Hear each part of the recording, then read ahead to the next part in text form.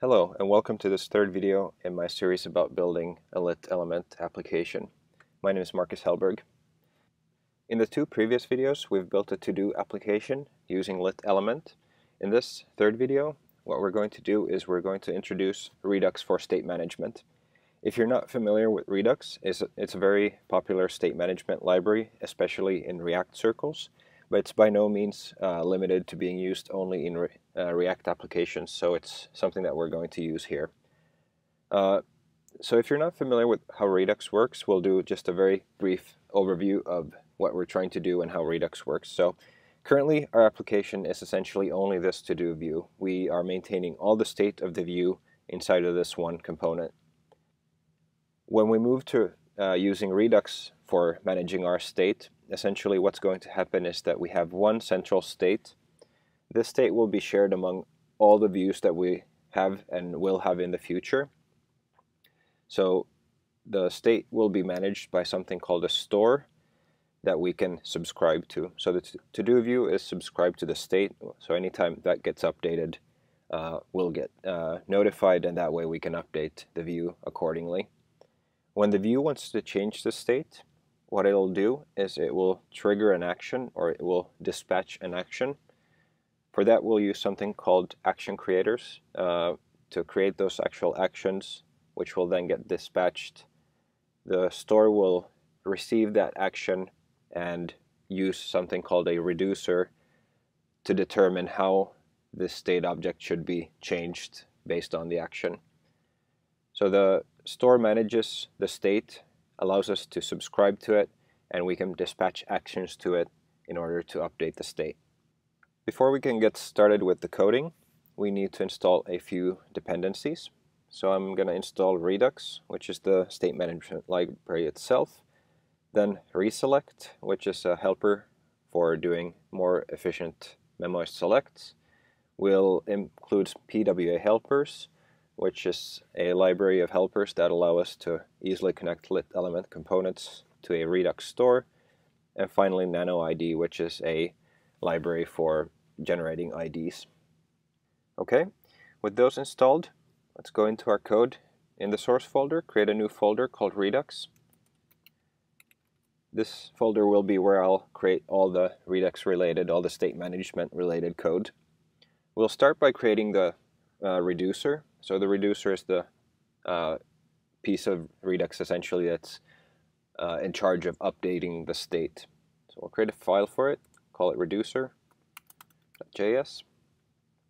and we'll move some of the things over from our to-do view into this. So again, the kind of main task that we have in this video is moving the state management, both the updating and listening uh, into Redux.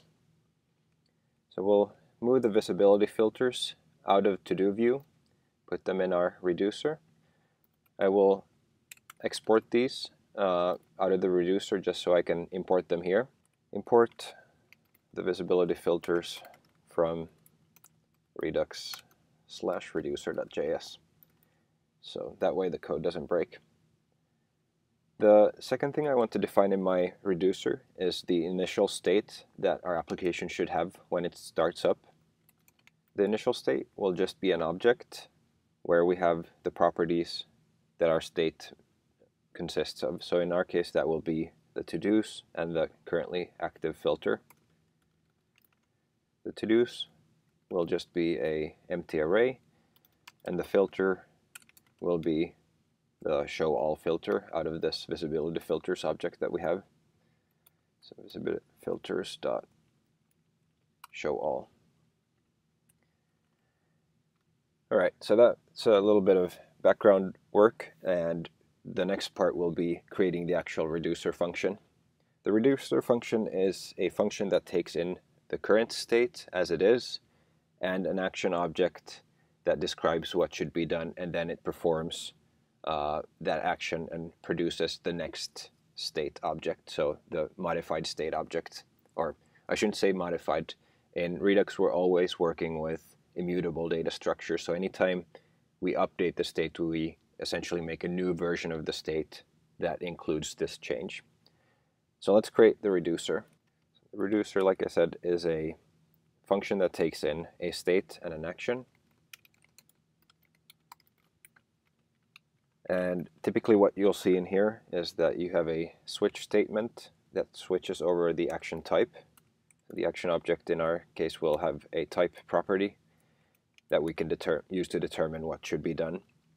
For now, we don't have any action, so what we'll do is just uh, put in a default clause and return the state as it is.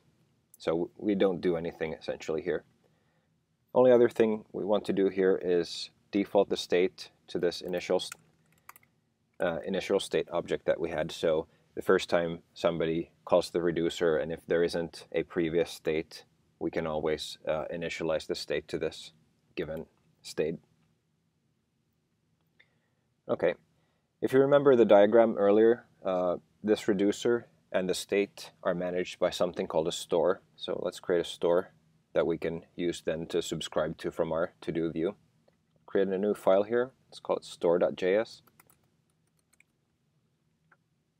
We create the store by calling a create store function from Redux.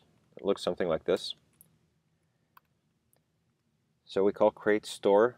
We pass in the reducer for our application and after that we can pass in any any kind of additional middleware. We're not going to touch uh, middleware too much, uh, but I in did include the Redux DevTools middleware here. That's something that we can use uh, in our application to see how the application is actually modifying the state. In order for this to work, we need to import the create store function from Redux. So we'll this from Redux, and then the reducer here is the one that we just created. We'll import that as well.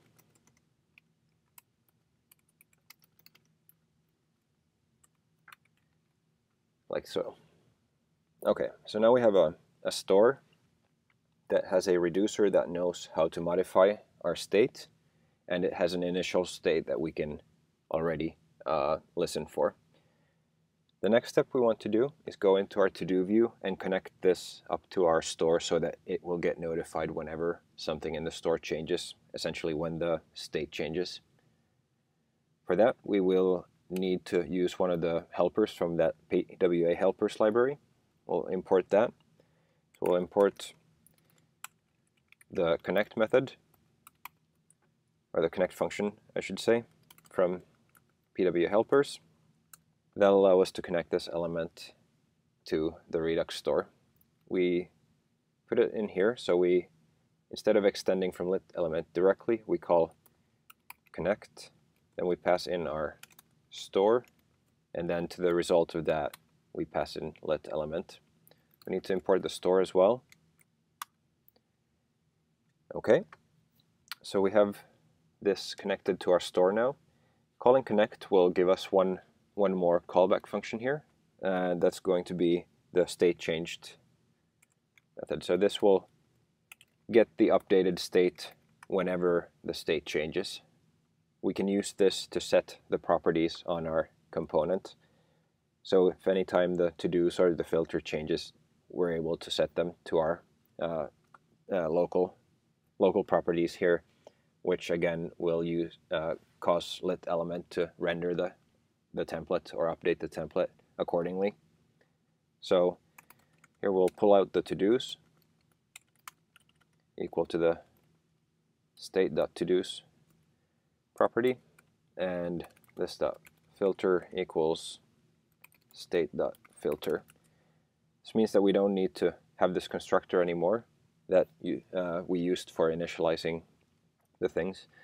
The only thing that you notice that I'm not doing right now is I had that uh, task property before that I don't have anymore because that's something that's not really part of the uh, global application state, something that I really need to keep track of there. That's something that's very specific to this component, so I, I omitted that from there.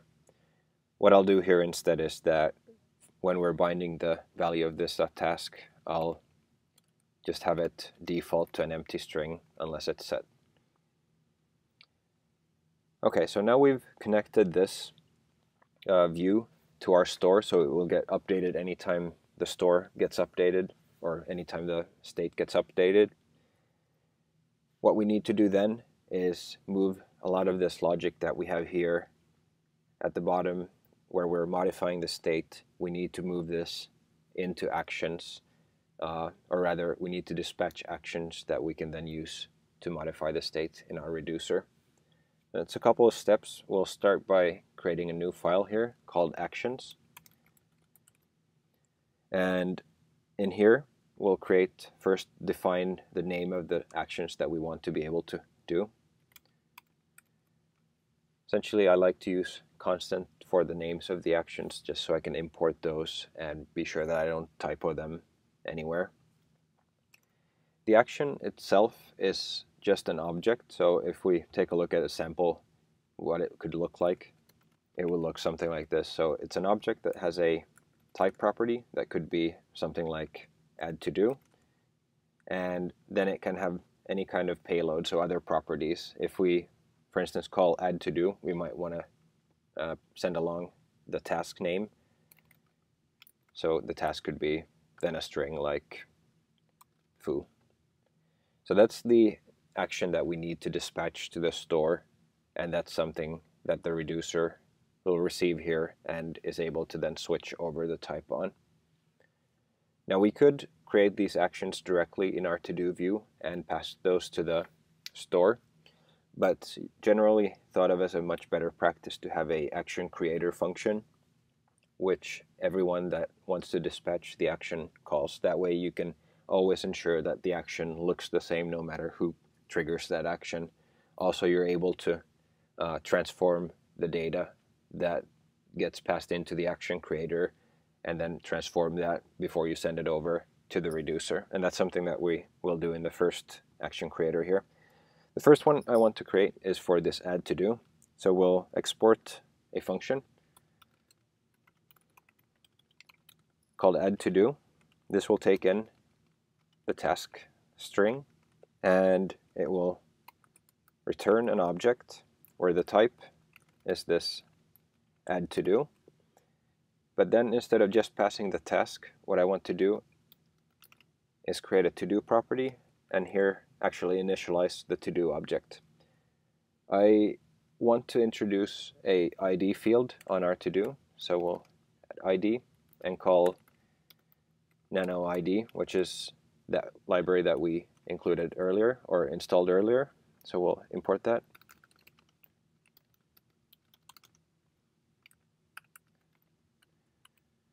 Like so. So in addition to the ID, we want to add the task, and then the complete property, which defaults to false. So, so this way, whoever calls add to do only needs to supply the task, and we have a central place in our application where we actually instantiate new to-dos. Okay, that's the first one. The second one is for updating to-do status. So if it gets marked as completed or uh, or marked as active, again, we'll export a new function called update to do stat status. This one will take in a to do and the complete property, so whether it was completed or not, and return an object again, return the action object that has a type of update to do status. And here we'll pass in the to do and the complete information. So here we don't need to do too much. We just create create an action object, pass in the data that we got in.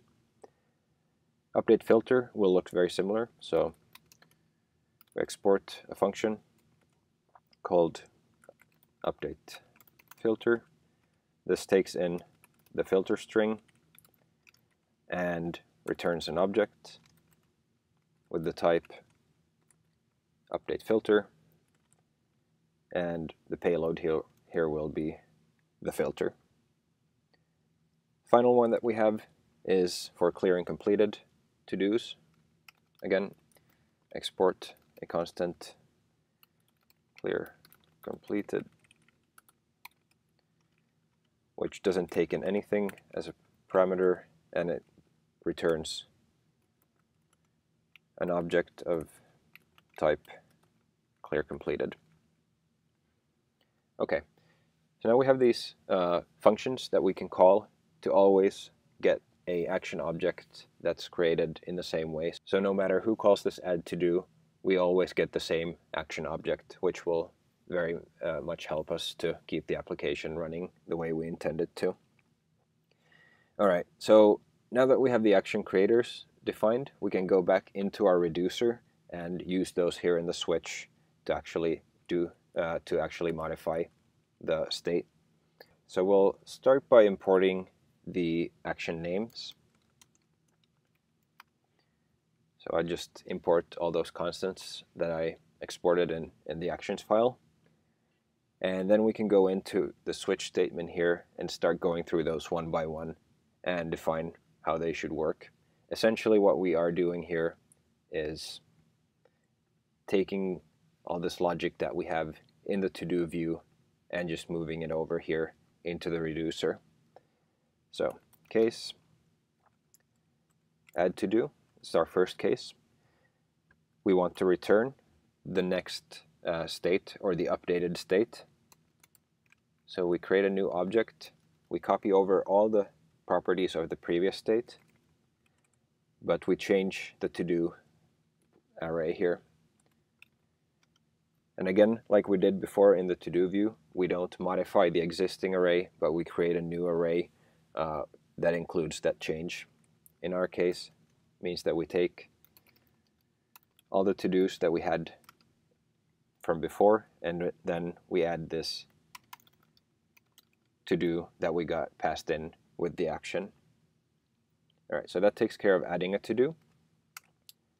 The next thing that we have is the updating to-do status. Update to-do status here. We'll again return the next uh, state, which includes all the properties of our state from before. And then we modify or update the to-dos array. In this case, we'll do the same as we did here in to-do view. So we'll essentially map on the to-dos So we map on the to-dos and then we check if the action the to-do equals to that. If so, we take the complete property from the action and update that. And if not, then we just pass back the uh, to-do that we are mapping on so we don't modify it. So this way uh, we only update this one specific to do, but we generate a new array with that change in it. Okay, so now we have two of our four actions created. Next one is to update the filter. Update filter. Here again, we return the updated state. So a new state object containing everything that we had from before. But the filter will be action dot filter so whatever the new filter value is. And finally we clear the completed ones. Clear completed. Here we return. Again state object containing everything from before with the change that we filter out all the uh, all the completed ones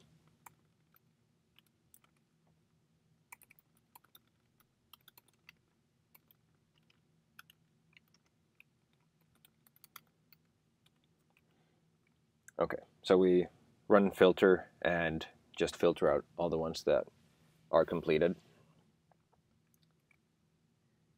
All right, almost there. So now that we have moved all the logic into the reducer, we have these action creators that are able to create the appropriate type of actions. What remains to be done is going into to-do view and pulling out all the logic that we have hard-coded in here so that it's fully driven by this Redux store. So we'll go through these one by one. So we still want to check if we have a task, but instead of modifying our local state in this object, we will call store.dispatch and then we'll use this action creator that we had from uh, in the actions.js file to create this add to do. So we can use our IDE here to import this and this takes in the task. So we just pass in this dot task. And then we clear the task property locally which will then clear the uh, text field all right. Update task is something that's just local to, to this uh, component itself, so that's not something that we need to send anywhere. But update to-do status is one of those actions that we moved into our Redux store. So here again, we will call store and we'll dispatch an action and we'll use this update to-do status method from our action creator and pass in the updated to do and the complete information. Same for filter changed. So we call dispatch. We call, think I call this update filter for some reason. Let's see. Yeah, update filter. And then we pass in the E dot detail dot value like before. Clear completed, same story. So store dot dispatch, pass in clear completed, and that doesn't take in any parameters at all. Okay, so that was a lot of typing and essentially, again, reviewing what we did we took all the state management that we had in this to-do view and we moved it into this reducer which maintains the state.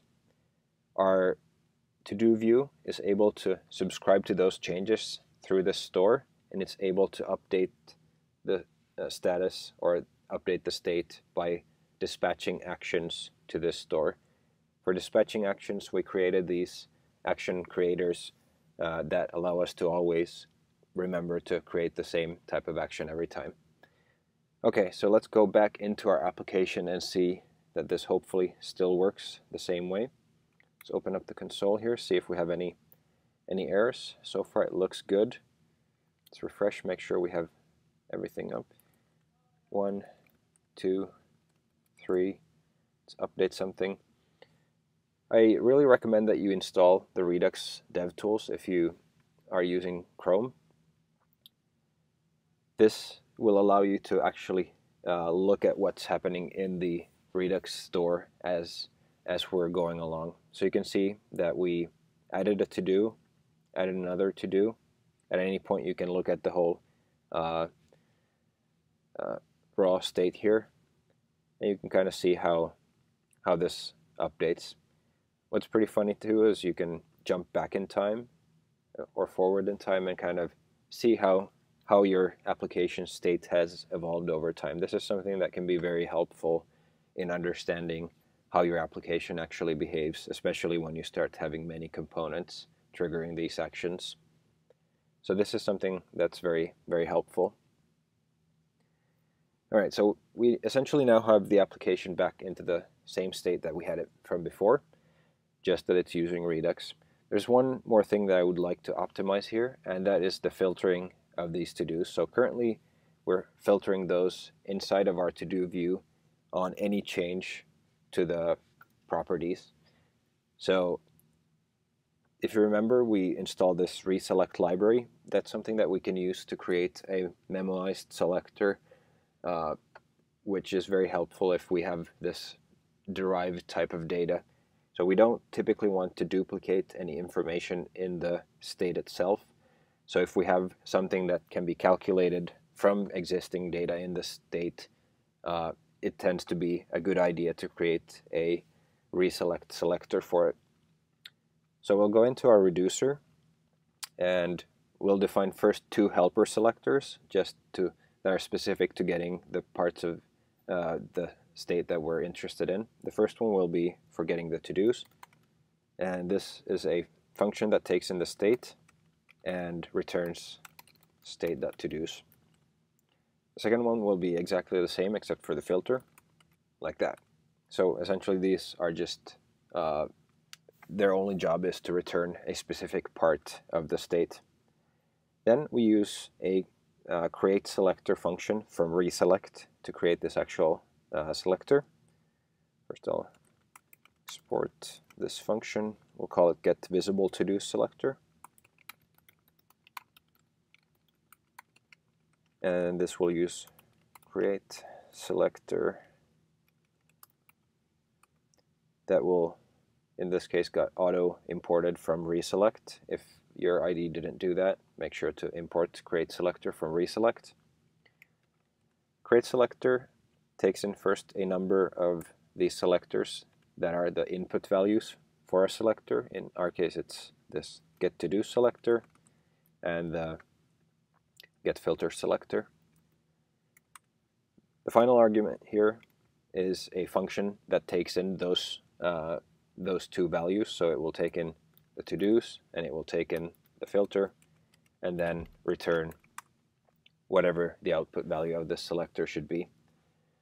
The nice thing with reselect is that it listens for changes to these, so it will only recalculate this value if any of those two things have changed. So if you have a very large state tree and somebody changes like their date of birth or name or something like that, that doesn't have any effect on the to-dos, this uh, data wouldn't have to be recalculated. So in here, essentially what we need to do is move over this logic that we had internally in to-do view. And of course, instead of calling this dot filter, we'll use the passed in filter value. Again, for active, we filter out all the non-complete ones. For completed, we filter only the completed ones. And for anything else, we just return all, all the to-dos. Now that we moved out all the logic from here, we'll remove the apply filter method from here we will remove the call to apply filter from our template so that we just again map over the to-dos. Currently the to-dos property is every single to-do in our in our state, which is not what we want to do. Instead here we'll call this uh, selector that we had. So we'll call the uh, get visible to-do selector, make sure that it did get auto imported from our reducer and then we pass in the state. So when we pass in the state here, this will uh, call both get to do selector and get filter selector with that state that we passed in, and then we'll produce only the visible to dos. When we set the visible to dos to our lit element view, that will cause the view to get updated. All right, let's go back into our browser one more time, try this out. One, two, three. Select two of these. Filter by active, completed, all, clear completed. Excellent. All right, so arguably we have made our application quite a bit more complex. Before we had everything that we needed inside of this one to do view component, and now we've spread it out among a whole bunch of different uh, JavaScript files into a separate state and a reducer and actions. For a very simple application like this, it may not feel like it's really worth it, and it honestly probably isn't. Where Redux really starts to show its benefits is when you start to have a much larger application that's comprised of many different small components that all are interested in different parts of the state and all are updating uh, the state. Having a central source, single source of truth is something that will really help uh, you understand the data flow of your application and can really help kind of avoid a lot of unnecessary problems in the uh, in the uh, application. All right, so that's it for video three. In the next video, we will take a look at adding another view so that we can really start seeing some of the benefits of using Redux so we can reuse the same state for that. We'll take a look at how we can navigate between these views and we'll take a look at how we can split our code uh, payload essentially into bundles so that when a user logs into the application they only need to download the code that's needed for for that specific use case essentially making sure that the application stays performant for every user. So be sure to check that out. Thanks